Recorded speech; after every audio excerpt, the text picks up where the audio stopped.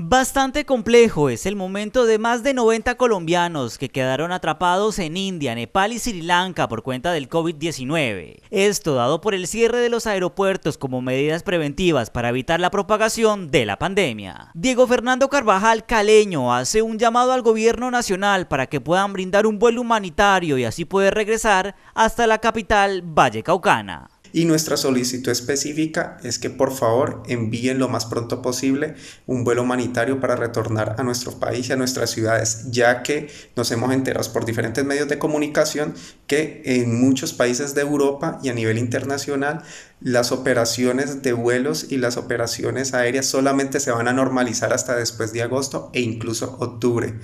Por esa razón y por ese motivo se va a dificultar o se va a hacer casi que imposible el sostenimiento de los más de 90 colombianos que nos encontramos varados en esta parte del mundo y necesitamos retornar a nuestro país lo más pronto posible porque eh, se hará insostenible esta situación. Por esa razón solicitamos nuevamente el envío de un vuelo humanitario para, para retornar a nuestro país. Muchas gracias.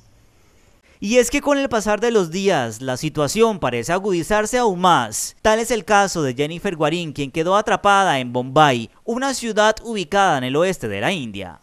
He tratado de buscar ayuda en mi embajada sin respuesta. La respuesta es no tenemos presupuesto. He pasado días sin probar bocado, comida. He pasado días sin tomarme un vaso con agua. Yo tengo los nervios destrozados como muchas otras personas aquí. Estamos desesperados en una situación incierta. Yo le pido encarecidamente al señor presidente y a la señora Claudia Urbán que se pongan la mano en el corazón, que nosotros somos colombianos, que tenemos una familia que nos espera.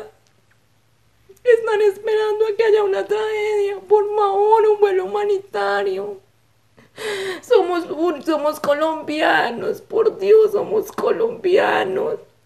A esta crisis se le suma la xenofobia de la cual han sido víctimas los colombianos. Obligaron a tomarnos la foto al lado del cartel como si fuéramos un premio. Entonces nos, nos tomaron la foto hacia el lado del cartel y luego la publicaron en las redes sociales de la alcaldía local de las personas que estamos acá, extranjeros, con, con esta situación, como si fuéramos una verdadera amenaza en relación al COVID-19. De este modo, son varios los colombianos y caleños que están atrapados en estos países en donde se encuentran mujeres en embarazo con enfermedades crónicas, adultos mayores, niños y familias enteras esperando a la ayuda del gobierno nacional. Recordemos que en India son más de 20.471 casos positivos de coronavirus, 330 en Sri Lanka y 45 en Nepal.